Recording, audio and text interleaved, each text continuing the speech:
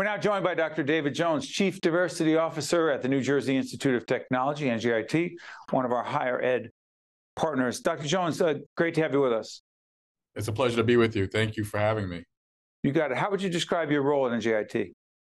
Certainly. Uh, you know, my role, I serve as the diversity lead for the institution in providing uh, initiatives, programs, and developing policy that works to create an inclusive campus environment for our faculty, our staff, and most importantly, our students. You know, Dr. Jones, I'm curious about this. We'll talk about DE and I, DEI, and and where it's rhetoric and where it's real, where it's window dressing and when it's real. What about if someone says, you know what, this should just be natural. It should be organic. Or organizations should do it without having a chief diversity officer, without having a name of a program, but it doesn't. Right. Does it? Talk to us. Certainly. Uh, no, absolutely. You need the leadership in place. You need the infrastructure in place to be able to build out sustainable, right, culturally sustainable initiatives and programs that allow people, particularly people from underrepresented backgrounds, to feel a sense of belonging, to feel a, a place uh, that is affirming in their identities and their cultural beliefs and values within the organization. And so, chief diversity officers uh, or diversity leads for organizations are critical to building out that type of infrastructure if we want to be able to sustain these efforts. And, and let's face it, right? We're, we're, we're looking at a society in which our, our cultural climate um, is, is faced with realities that disenfranchise people from underrepresented backgrounds. And so to build in this infrastructure, not only is it culturally responsive to what we're seeing in a society at large, um, but it builds in a, a, a culture that allows employees, uh, in organizations and students within higher education to thrive, particularly those that come from disenf- disenfranchised backgrounds. There are some folks who, who I've heard be critical of what they perceive diversity, equity, and inclusion, what it really means, what it should mean, what you do and your colleagues do every day. And the response sounds like this You know, I understand that we need to diversify, but, you know, sometimes we quote, we go too far. When I hear that, I often ask myself, well, aren't we playing catch up? Talk right. to us. Certainly, we are playing catch up. I mean, we're we're we're dealing with a society in which there there's long-standing systemic and structural inequities and barriers um, that have uh, placed people of color, members of the LGBT community, women, persons with disabilities, right, and thinking about religious diversity, um, you know, at in ways in which they have been disenfranchised and marginalized for far too long. And including so, in the media.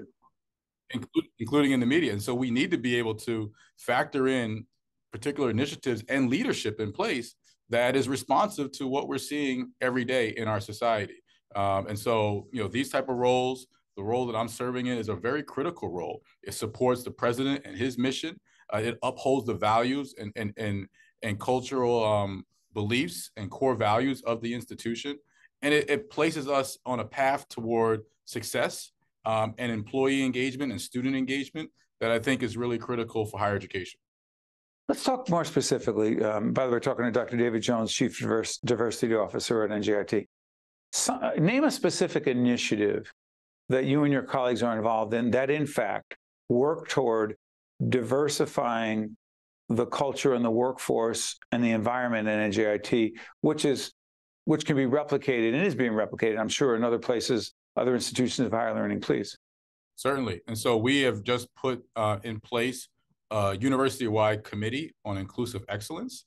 And this committee is going to be a body of faculty, staff, students, and alumni to serve um, in partnership with me to address key priorities that are happening at the university level um, to ensure that our students and our faculty and staff, particularly those from diverse backgrounds, are feeling supported and affirmed uh, within their identities and cultural beliefs here while they're at NJIT.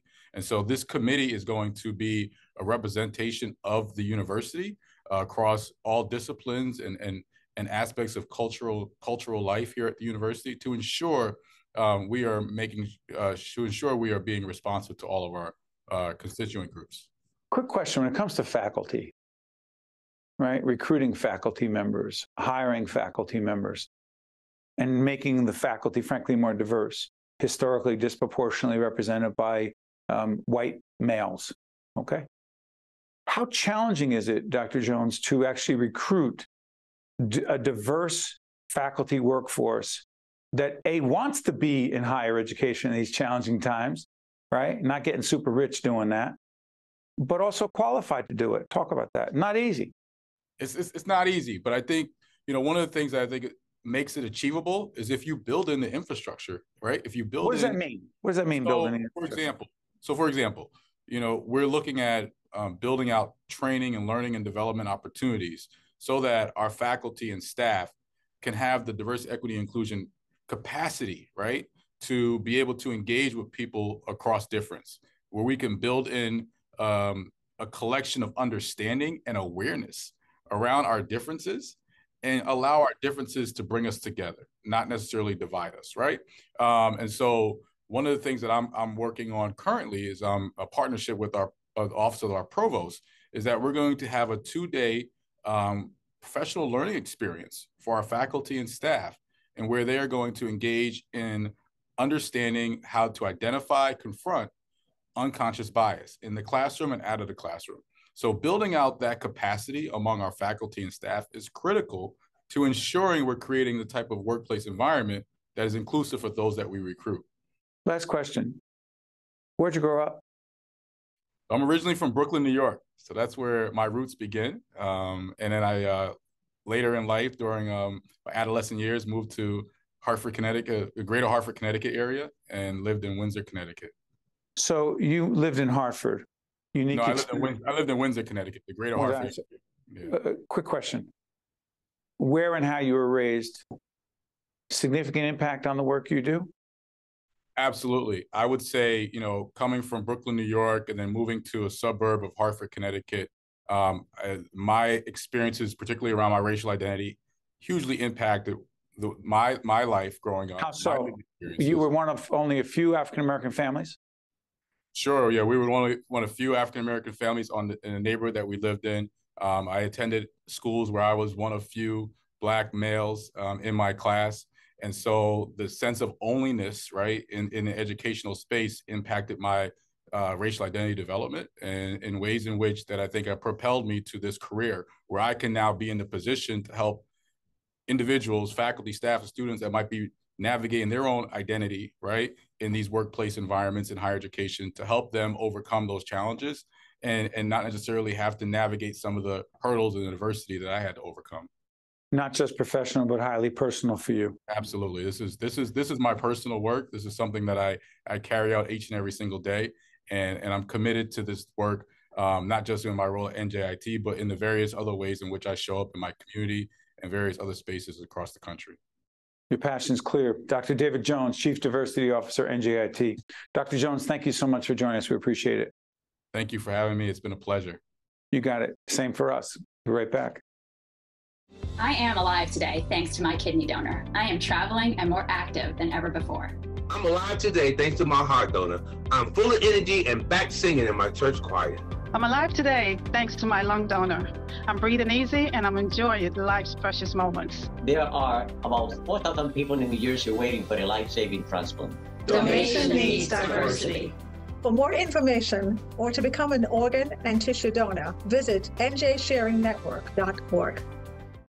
Also brought to you by Holy Name. This place is different. New Jersey Sharing Network. The New Jersey Education Association. Prudential Financial. PSC, where your story is our business.